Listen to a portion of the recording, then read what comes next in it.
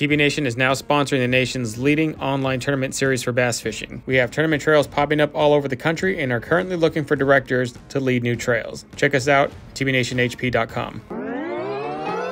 Hey guys, what's going on? So I was fishing the other day, throwing on the shores, there were seagulls everywhere, there were some boils here and there, and lo and behold, right next to me, a dead, perfect sized gizzard shad was just floating on the surface and it was an anomaly. I mean, there were, I'm I'm so happy it didn't get picked up by like a seagull or another fish. Like it just floated by my boat. I immediately picked it up, looked at it, sized it up, and it wasn't in the greatest condition. It had been chewed on because it was dead, but it was good enough condition that we were able to mold it and then reconstruct it and then make our own lures with a perfect gizzard shad body along with some retrofitted things that really make it kind of our own bait. Stay tuned and check out the whole thing starting now.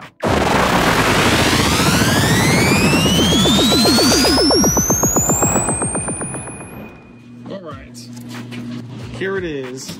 It's not doing so hot and we need to um, mold this thing now. So I know it won't be a perfect mold, but what we can lightly mold over and we'll pour a few castings to get one right. And then casting a bait and then remodifying and shaping it to, to get trimmed is, is a little bit easier but I know this thing's got no time. Hobby Lobby's closed on Sundays, so the only plan B that I have is this stuff. We bought a crap ton of this stuff. Number one silicone.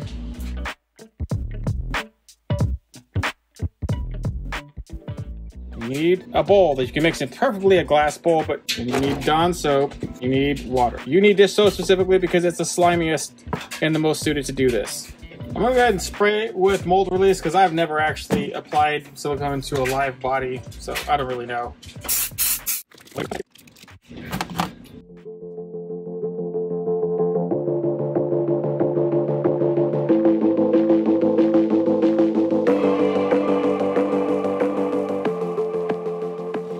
just mix away. And again, the only reason this works is because 30 or so squeezes, so you know like most of it's been exposed. You just kind of just want to mess it. The whole thing is just like, once it's exposed to the water, it activates. So the minute you want to get as, as most as much of it exposed to water through squishing it and moving it around and pushing it in the water to ensure that all of it dries evenly. You don't want one spot to dry in 30 minutes and then some spots are going to take another seven days to dry or not dry at all because there's no exposure. The whole catalyst and the silicone drying at all is not air, it's water. It's pretty much ready. We're looking for the non-clear at this point. We don't want any clear. I'm gonna try this whole, I'm gonna do only do half the fish because I've tried this before with not the most success. Although it was useful, but it wasn't anything great. We really lucked out when this body kind of, you know, when it was decomposing and stiffening up, it like stiffened completely straight. Like we got super lucky. The fish was just completely straight and rigid and um, took its natural shape as it would be if it was just stagnant and staying there. It was like the perfect mold, perfect size. Eight is like a nine inch, just a nine inch fish, little bait fish. I mean, I've been looking for one that size. You can't get one. It's hard enough just to even get a full grown one that you can actually see and snag, like, or catch. Like, they're super hard to catch. Unless you're like, I guess, netting for them. I don't know how to net for anything. So now that this is on here, we're just gonna go ahead and let this dry. I mean, really, that's all we have left is to let it dry. You can tell it's almost forming now because it doesn't want to stick to itself. The reason you want clear silicone instead of white silicone, the white silicone will work, but you can't tell when it activates. Like the clear silicone will turn white. It'll start turning white once it's ready. And then, so you need to know when it's ready. Like that's the whole the whole reason. That's the only reason, like right now it's ready. Right now, if I kept squeezing that thinking, then right now, see it's pliable, and this is when you would actually mold it to whatever you're molding. Right now, of course, we're just trying to strengthen and build up the side. So that's all we're doing. This took three tubes to clear one side. So I'd say six tubes would do okay for this in terms of what we're trying to accomplish here. Let's see what we got here. We have a partially molded fish.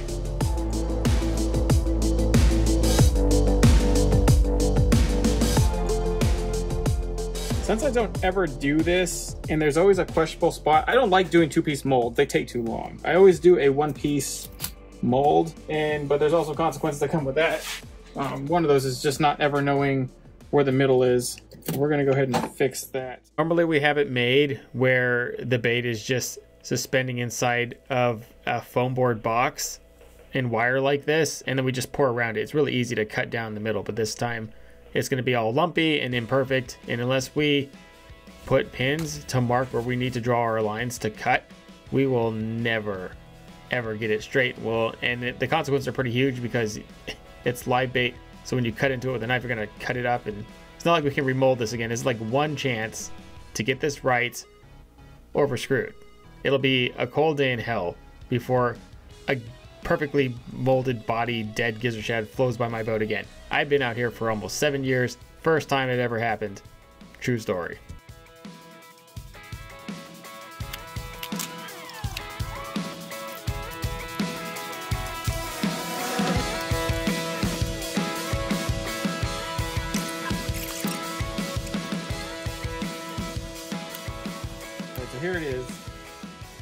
The bad thing about this process is there'll be a tons of distortions and imperfections inside the mold itself, but the really good thing is it cures in about 30 minutes completely, so you can at least start working with it right away. I'd only use this situation when it's dire, and it's about as dire as it gets, so let's see what we came up with. So these actually got an incredible amount of detail in them. I don't know if you can see that, if the camera can even get it, but yeah, there's a lot of air bubbles and whatever and stuff, but I can clean that up. I can carve out a legit master mold out of this like it's no big deal. I mean, I can even go so far as just to pour one side at a time, just elevate this side. Okay, so what we're doing here is we have this casting resin. I think it's it's called Model Pro. I get it on eBay. I know there's better stuff out there. There's a million resins that people use. There's so many you got to keep up on. Just use whatever works for you. I've been using this stuff for a long time. And at its most liquid base with no distortions, no inhibitors, it's going to get the most detail. So we go ahead and pour it in raw. It's going to be harder to carve though, but we want all the detail and we already know this mold's kind of jacked. You know, this, this method is not going to get you the greatest detail. It's going to get you a lot of distortions. It's good for like one single, I have no other uh, like choice but to use mold. Then we poured the other side, the other side cured. And since the other side cured and this side is about to cure, you got like a 20 second work time. I had the bright idea to stick the dry side on top of the non-cured side to try and mold them together. And uh, it just seemed like it was going to be the better fit. Otherwise, I was going to have to sand them both down and then glue them together. And that probably could have worked too. That was what I was going to do. But hey, why mess up a good opportunity like this?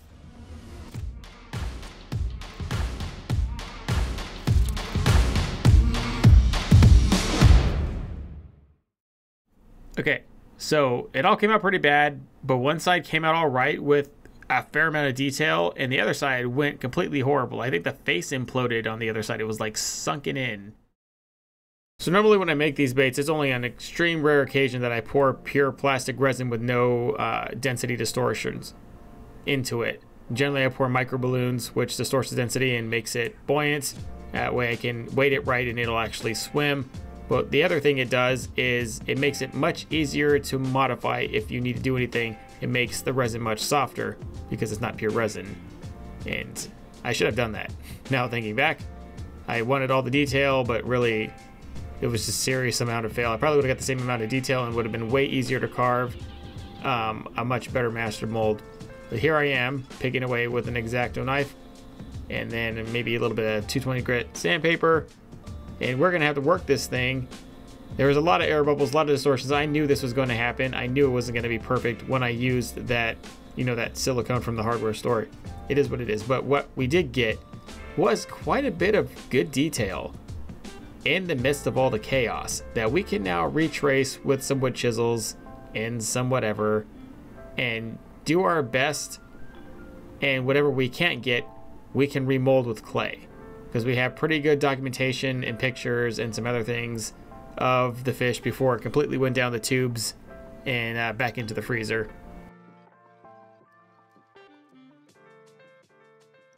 So if you're wondering how we're going to reconstruct the face and all the detail and everything, we're going to do it with Sculpey clay. Really what we needed that fish for was the body and as much detail as we could possibly get.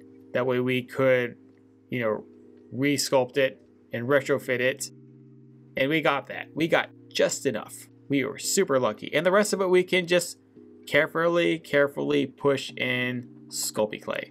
And this is how we are just on the spot heating it up. Normally you'd have to put it in the oven at 275 and let it cook for 30 minutes, and let it sit and blah. And I, I really don't know how that's how well that's going to work on top of, of on top of plastic that it's not even meant to stick to. So what we are going to do is for the moment sculpt in, put plates, obviously flip back and forth, and look at it very tediously. That way we can replicate to the best of our ability the imploded side and fix it, which is what we're doing here. It's going to take a lot of clay. And then we're going to hit it with a heat gun, hit it with a heat gun, and that will kind of, you know, harden the top without completely hardening the somewhat adhesive, you know, and flexible bottom. That way the sculpture doesn't just fall off the resin. Normally I do this, and I do this a lot. This technique works across the board, but generally it's on another Sculpey body. I like to hard body Sculpeys, like I hard bodied this this this body here, but just with Sculpey, and then I'll and then sometimes I'll layer it like this. Actually, a lot of times I'll layer like this. I'll layer entire rings of scales on it, and where it's really super easy and it takes way less time to carve out something. This will take a lot of time because we're going to truly have to carve it once we fixed this uh, bulk mold template enough to where it's usable to mold again with some actual good uh, silicone. Once the Sculpey is hard on the outside from the heat gun, you can slightly carve away parts of it. We really can't do a whole lot or the Sculpey is just gonna fall off the body. Trust me. I didn't show you that part, but it happened.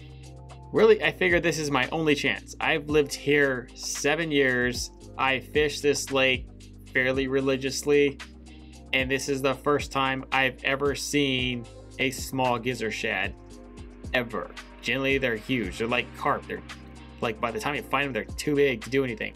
I tried to carve some scales into it, but carving scales into a body that hard was super fail. I should have just left it alone, but it's too late. Really, what I need the scales for is because it holds the paint and it holds the resin better um, and it keeps it from coming off when it gets thrashed by fish or it hits against a rock or a dock. It's better. Right now we are using foam board. I got this stuff for five bucks at Hobby Lobby. It's all I use. Really, it's that and it's super glue. And I form a box. I stick the bait in it, and then I'm able to suspend the bait inside of it with baling wire, and then I just pour around the bait. Generally, I get the mold from Hobby Lobby because I'm too lazy and too cheap to order in bulk from online store. But given the recent quality of the Hobby Lobby uh, Alumilite high strength stuff not being consistent and curing too fast, I would tell you just to get it straight from the factory, whether it be Alumilite, Smooth-On, whatever. Like quality control with things recently have not been great. I will say that officially. If you're wondering how we suspended it, we suspend it like we do all the other baits, just like this. We have it as straight as we can. That way, when we go to cut it, we can reasonably cut it out right on the top with uh, minimal distortions to the whole body. This is a Alumilite High Strength 3 silicone mold. I really like it because it's perfect for one piece molds, so it's perfect for what we're doing here normally. Right now it's doing me a little dirty. It's curing too fast, and again with the quality control issue at Hobby Lobby, if you're gonna get this stuff, just straight up get it from the factory itself, because they'll back it more, and it'll probably be fresher, and you won't have problems like this. All those little chunks are chunks of recycled silicone I had from baits that I I casted and molded once, and I figured they, they swim like crap, so we you can actually recycle uh, the silicone. Look at that. That is really that shouldn't happen for like 12 hours, and that happened in uh, less than a minute. So this stuff's garbage. If this one isn't good, then we are completely screwed. Thank heaven it was good. That's how it's supposed to be. You're supposed to pour like syrup, and it's supposed to stay the consistency of syrup and for like a while. That way, it kind of gets into the nooks and crannies. So we have just enough, and it gets just around the bait enough to get around all the gaps and holes and bubbles that were caused by the way way too fast hardening stuff. I want to make it extremely clear that this is not a dig at Alumilite because even though I knew this stuff could potentially be bad, I still wouldn't got it because when it does what it does, it is magic. I thought I was actually going to get away with just two of these kits, but it seems it's gonna I'm going to need a little bit more. So I'm going to have to just hit up Hobby Lobby and again, and even if I get a botched kit, it won't matter because most of it's covered up and all it has to do is just get between the nooks and crannies of all that um, extra stuff. We go ahead and we let it cure for a week. I go and I go on a filmmaking venture for a boxing journey uh, with my son. And we come back to finish this thing.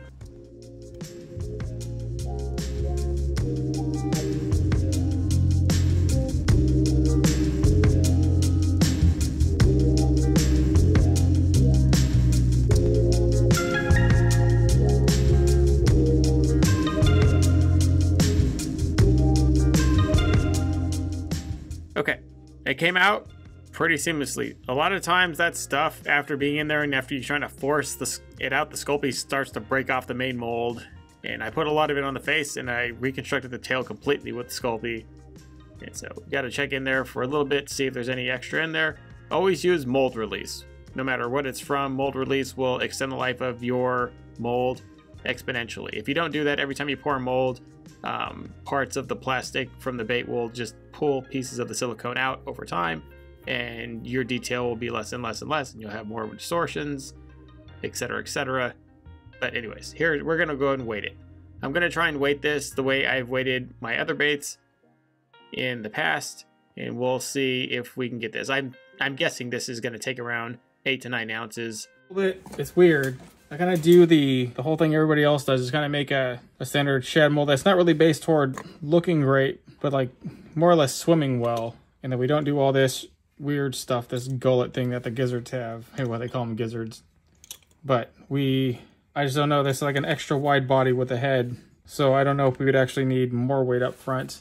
I worry a little bit that I'm putting not enough. But we'll find out almost immediately once we pour.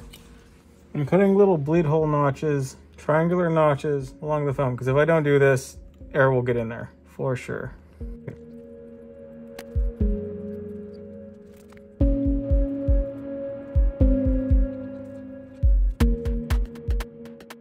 So we are going to distort this mold with micro balloons. This time when we cast it, it will not be pure resin. The micro balloons allows you to have a distortion of density to make the bait lighter than its actual mass should you have poured pure resin in there and it would have just sank like a rock. This time it'll be buoyant. It's the closest that you can replicate to say a wooden swim bait, which is naturally buoyant. You have to load it with tons of lead for it to even sink which makes it actually swim better because the more buoyant the bait is, the better it's going to do its job to resist rolling. But you also would be a serious pain to try and carve a wooden swim bait that was going to do like this and then have to do it again and again and again. So replicating a bait is really seriously worth it if you can measure out the density distortion and weight it correctly. So here we go. And also baling wire is useful for pretty much everything, including not having to use rubber bands to hold them all together while it cures. And this stuff, I've heard some other people have like two, three hour demold time. How terrible. This stuff demolds in 15 to 20 minutes.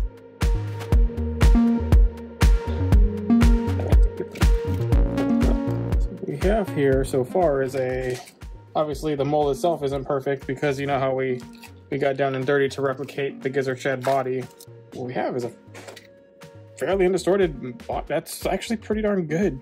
I can work with this. I kind of regret now doing all those scales. I do and I don't. I mean, I crap. I'm, I'm gonna test to see what, if this floats or not. This is really light. It's extremely light. I like getting it right at the at the right demold time because if you get it right at the demold time, the the excess stuff just flakes off. I like doing only the top cut and the barely the top cut because the top is all you have to clean up. You know, see, all the bottom is perfect. It's just perfect. You don't have to clean up anything on the bottom. Very excited about this the screw eye is going to go right in the mouth, right in there.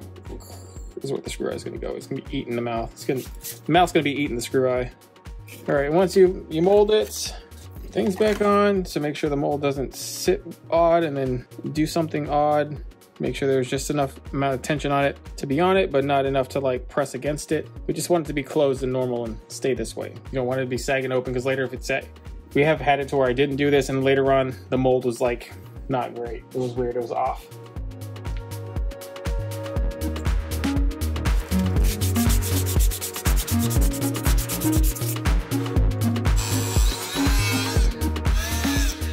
All right, that just molded a spot for the tail. Just wanted to see. Now, I guess I also wanted that to be a little accurate because that's what it's actually going to weigh. I don't want any more to be back there. That's going to distort the actual weight of when we do the water test. Here it goes. Bait. So this is how you would tell as if it, if it were balanced. You would move the weights up or down or whatever you would drop it in. And right now it is slightly favoring the front, that's which is good because later on when we put a tail back there, it's not gonna do that. So this, all right, let's try it now. Put a tail on it. So sinking down more of the head, and I think thinking because this really should have been right here. Historically, the best place for me when I would do these baits to, So the best place to put the actual uh, screw eye for the hook is the same place the weight should probably be. So these are kind of, you can see the weights right here. It probably should have been up a little. bit. Actually, I think the weights being right there are perfect. This one should have been back. This was back about an inch, probably be more balanced. If I move back an inch, it doesn't need more balance. I need to add like a little minor weight somewhere up here in the tail. But what I'm really interested to see is if the if the, the weight ratio, whether though the weights are not set correctly from back and forth, um, it does seem to be balanced okay in terms of it's almost right where it needs to be to where it would slow sink or suspend. So we're going to put hooks and split rings and screw eyes in it and see what that does to it. Spoiler alert, didn't want to do this, but it'll make no sense if I don't tell you. I made these when I did the remold, the reconstruction. I made these fat little spots here on the body because clearly the gizzard shad body is too thin to actually drill a screw eye hole or any hole through. So we, I made those and molded them on with clay. That way when we came out in the master mold, it'd be one solid piece that I could actually have a screwable place to mount the eye into. And historically, you can actually change, you can fine tune the weight more with the size of the screw eye, though it's like super minute, which you can fine tune. But say if we want to put a bigger one back here and a smaller one up front, and no, the fish won't rip these out. I've never had a fish rip out a, a split ring. I mean, I'm sorry, a screw eye. Never. I've heard that for days. A muskie's gonna rip them out. We put that to the test. You know, a striper, big bat, and a, a, fish big enough will just rip these screw eyes right out of the bait. No. we're gonna go completely honest, the only reason I go through all this trouble to make these things is to catch big fish that will put everything, all your gear to the test. And mainly also because it's a really huge pain to get like high quality baits from garage bait makers. They're a pain in the ass to work with. They only make some bait seasonally. You have to be right there at the moment or they get sold out. So why deal all that when you could just do it yourself? But back to the case in point, I would say that's butter crap, butter horse manure. I mean, maybe in a wooden bait because the wood's not going to hold these as tight as plastic will, I mean, this resin will. So maybe in a wood bait, these would rip right out. I don't know. I think, you know, wood organically does its thing over time and is not made to last forever. Um, but plastic does a pretty good damn job of lasting forever as long as you don't leave it out in the sunlight. So that one's in. And if we really wanted to get super, super anal, we could have concave that with a drill bit or a deburring bit and made them sink in more. Screwing these in, they, you hear them to start to squeak. If they get too if they start to get even a little bit, like you squeak and you and you feel that just that head just flex even a little bit, stop.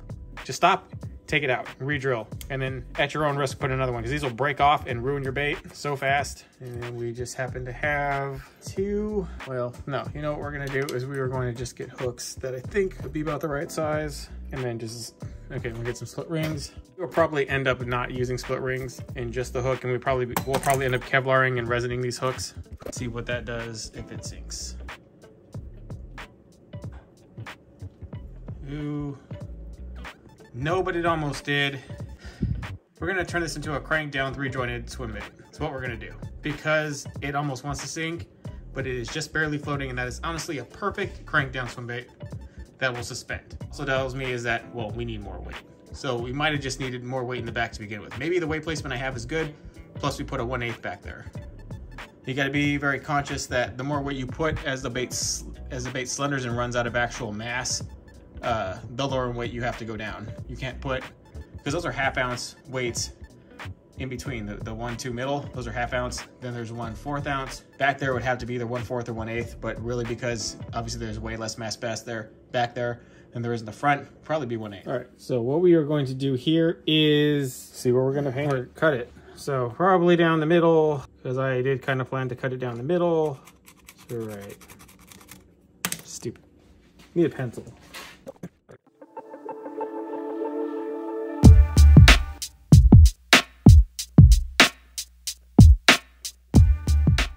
That's right. Okay, I cut it in half. It's what I did. And it's such a long bait. But it's about time. First for anything. First for molding a dead fish. First for molding a, whatever this is. That's gonna go like that. That is a really long bait. That is like darn near almost a foot. And I have these long stainless steel screw eyes and I don't know why, what these serve. I bought them because like they were there. I was just experimenting. I've had these forever. I really would like to get rid of them. But I really would like to join these, especially between the two pieces that actually are holding the hook and the fish together. The other two, we can be a little looser, use shorter ones, even smaller ones, and definitely toward the back, we're gonna have to absolutely use smaller ones, or I just, we're gonna have to. Or just eh, using something this big on something that small with that little diameter is not a great idea. It's not something we normally do. So we are using five screw eyes total, two large and three medium, and we will be symmetrically putting them here. Actually not symmetrically because the bottom tapers into a triangle so thin there's not a whole lot of usable mass for you to have, so they got to be kind of shrinking as they go on. They have to be placed a little higher. I don't know what that's going to do to the bait, but it's really the only option. We're going to be marking these in with Dremels, and how we would do this, really, it's very hard to mold stuff like this, so I, I just go in there with a Dremel bit, and I mark my spots, and I go in there with a rounded beveling bit, and I go in there and I hone out little concave areas for the screw eye to kind of sit in there. And then I'll just take a drill bit, or in this case, because the resin is soft enough, with the micro balloon distortion, I can just get the stainless steel rod I have and polish up the end and use it as an actual drill bit because finding a drill bit small enough to hold the rod but still long enough to go through a bait like this is very challenging.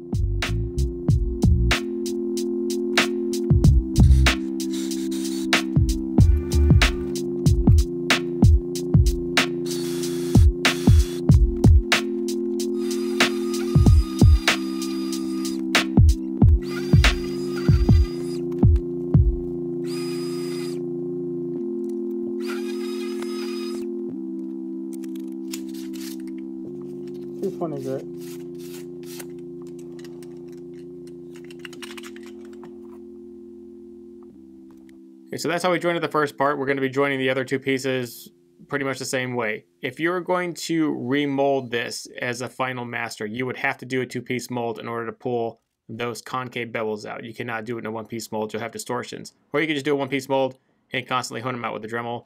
Either way works. When these slipping or turning too much, you can always just super glue, put, put a dab of super glue before you actually screw these in and they'll stay pretty tight.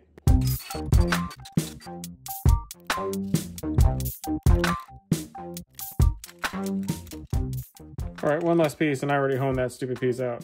So I don't have to deal with this. So we're gonna go ahead and just take care of that right now. Some of these aren't standing still because I could not find, my search engine powers are only so good. So if anybody knows where you can find like multiple size screw eyes, just not the, not the super small ones and super big ones like I have, like the medium sized ones like this, I think they're pretty invaluable for at least how we're doing it.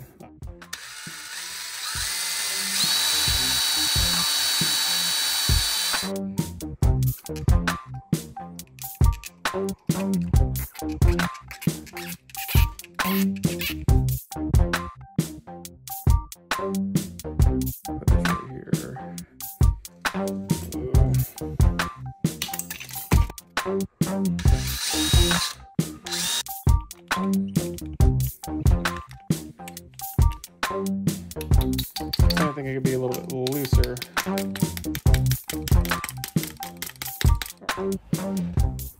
All right, so this is it. It's looking actually pretty darn good, I will say. Like, I, for just like a, you know, a crackpot garage bait, I really like the way it came out. I really like its shape. I know like these are things that we can fix and then remold the way we fixed and remold the actual gizzard template itself. But I'm pretty I'm pretty happy about this. I'm gonna use this as a four jointed kind of, you know, I never made a four jointed bait ever before. I'm not really even sure the tail should be like that. I've the three jointed baits that I've made I always give give the tail loose and have one there. I've got a lot of really good success. In fact, caught some of my biggest fish off it that way, but those were those were diving. This one doesn't suspend, so what I, have had not the greatest luck on making crank downs that don't end up having a super, super slow suspend. So I'm not going to use a crank down. I'm actually gonna use this as maybe more of a trolling. I think this will look really, really good in the water trolling at a higher speed. I know that they fish the Bull Shad that way, where it's, it's actually a pretty high speed. You know, there's a million other scenarios where I think I could run this and it could be good. I just don't have a bait that does what this one probably can do and will do. This is also probably a lot heavier. Probably now it'll sink. Nope, it still floats. SOB. It does sink with the four out hooks. And so what we'll do is we'll find, God, somewhere in here there's some Kevlar, and we'll make some Kevlar hooks for it. It really does not weigh jack doggy crap. Like, I think this bait weighs more than that thing. I swear. It's like super light. I really want to make this a glide. I kind of just by screwing around with this one figured out the, the algorithm to make a glide. So I'm thinking about it real bad right now. Super thinking about casting one and then making one and then just mess, just having fun with these. And just for demonstration, I casted another raw mold and now I'm going to put scales on this one. This one I would try to go for just some experiment stuff. If I get it right, I get it right. If I don't, I'll just recast another one. Not a big deal. But trying different scale patterns. The scales on the Gizzard Shad are super, like, tedious. You'd have to... I'm trying to figure out a way to cross hatch them all in a pencil marking to where it will actually work. We'll try one side with these scales, the other side with another series of scales. We'll just kind of mess around and see what we can do. But the whole thing about this is that it is now carvable because it is a softer resin because we distorted the mass. I'm using random wood chisels that I found on Amazon, and I even found a kit of these at Harbor Freights. I didn't know Harbor Freight sold wood chisels, but they do. And you can also find X amount of wood chisels and sculpting tools at Hobby Lobby or Michael's. They're all there. So just have fun and experiment and see what you like. I mean, I'm even kind of liking this whole two-tone thing because I know it would like drive OCD people mad. All right, fast forward. I finished them. I mean, these are the test run versions, and hopefully they work well. They, I mean, they should work well. They actually look really good. I can already imagine kind of how it's going to swim just by looking at it. I started polishing up a, a finished replica. I kind of got carried away, but I really want to try these two. I was able to weight a glide correctly, weight it perfect, like perfectly to where it's perfectly balanced, and it has a really slow fall. I'm very excited to see how that thing will do. I think I got it tuned right about right. Just,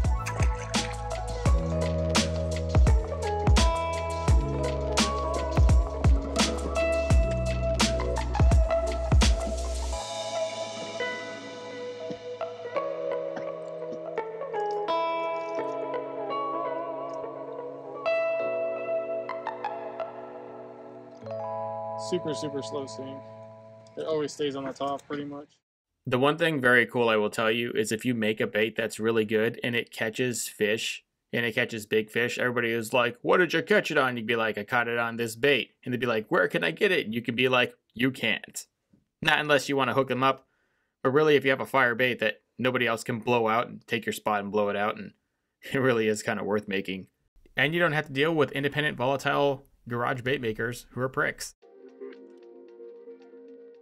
For just guessing, the swim bait doesn't swim too terribly bad. I mean, you have to slow work it, but ultimately it doesn't do exactly what it needs to do. And it can, though. I think it has definite potential, just the weight needs to be redistributed correctly.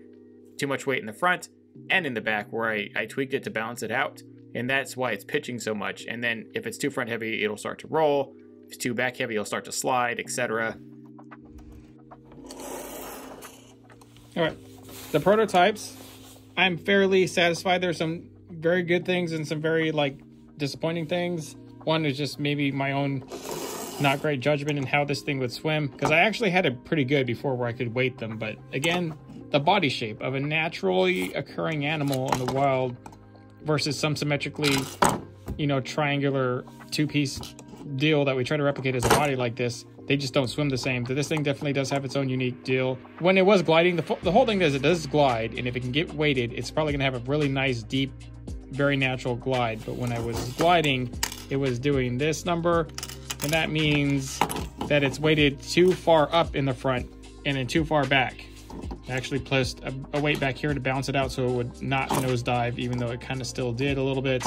I even put a weight back in here to balance out even more once it got in the water because I tested it with 4-aught uh, VMC hooks and then I put these on instead and these are actually lighter so then it messed up with the weights because it did initially sink and then it didn't so I was kind of mad about that so so who knows what it would have done with the other hooks. I also think these are maybe I need to re retrace these on, on a different mold and put these a little farther back. This needs to be here and this needs to be closer to the head because when I did throw it um, I did get hits. I didn't get any hookups which is very surprising I did get less rats. As the rats would blow up around it, they wouldn't actually go for it. And then uh, there's a few really, really big stripers out there that got underneath it and looked. It, uh, but because it didn't swim right, because at that point in time when you're kind of open gliding it wide, you can attract the fish, but it needs to be able to, to dart and do a really erratic like like oh it just spotted the predator fish so the fish is like oh i'm busted and then it either goes for it or not and i couldn't do it what it did do really well was sit straight it didn't do this awkward bend. It like it suspended straight and it suspended. So I was like, hit it on the suspend, hit it on the suspend, hit it on the suspend. It wouldn't do it. Wouldn't do it. this one just swam great, but I mean, you really need to throw this shallow water during the day. Um, and then this one would probably have done really well. Um, I still think maybe the, the hook places, I just don't think the front hook is close enough to the head because they're always going to go for the head, the head shot. So this could go right there.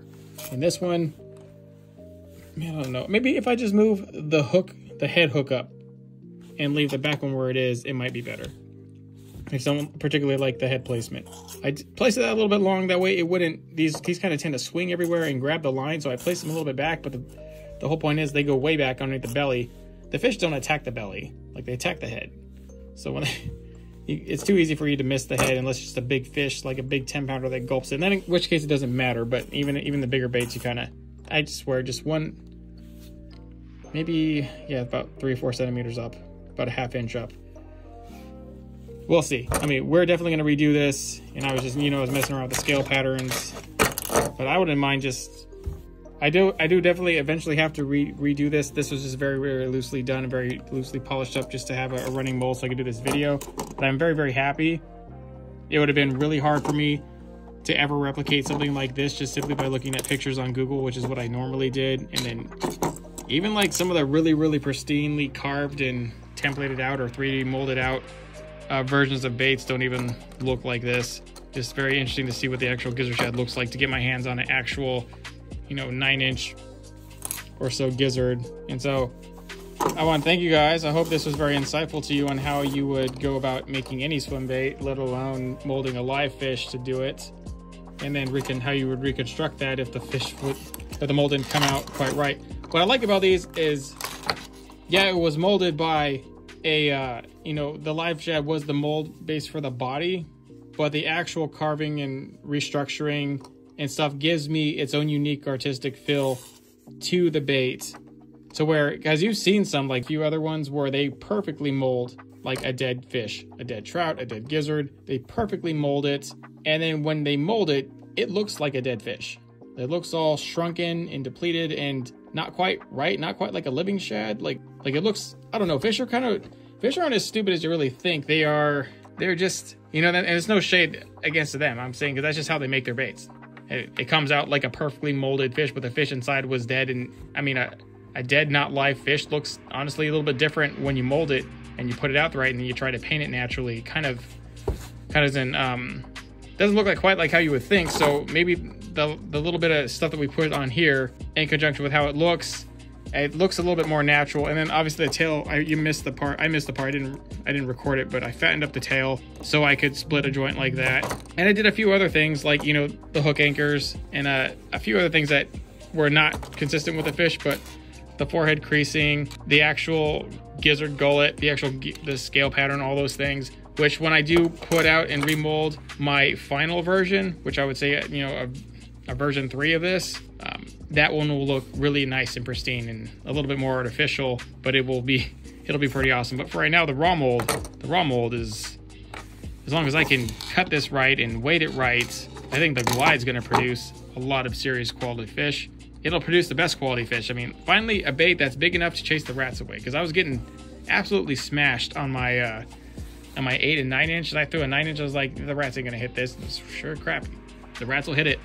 They'll do it. They ain't afraid of nothing out here. All right, guys, thank you much for this video. I hope this helped you out.